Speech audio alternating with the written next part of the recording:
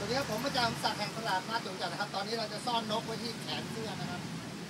การซ่อนคือจริงๆเขาจะมีตัวรางนะครับแล้วเราก็จะสลับนกนะครับสลับนกนะครับเราจะสลับนกตอนนี้แขนเสื้อตัวนี้มันฟิตกันนิดนึงครับแต่นกตัวนั้นจะอยู่ในแขนเสื้อนะครับ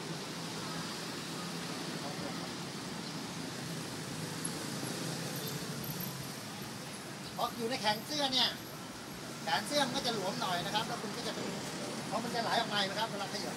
เวลาผมผมจะเรียกนกออกมานะครับ ผมก็จะสะบัดนะครับจะสะบัดตัวตัวออกมาแขนเสื้อผมวิ่งสะบัดเพื่อให้มันเหวี่ยงออก